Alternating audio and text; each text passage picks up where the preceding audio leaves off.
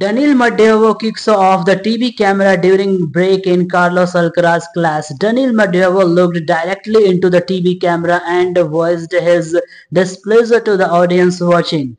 Daniil Medvedev broke the fourth wall as he vented his frustration at the technology on display by looking into the camera and ranting during a break in his China Open semi-final clash with Carlos Alcaraz.